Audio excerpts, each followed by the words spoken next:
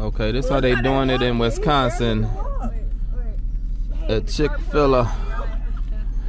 You see they got the cow down there. Man, they got them out here working in the cold like this. It's like 16 degrees.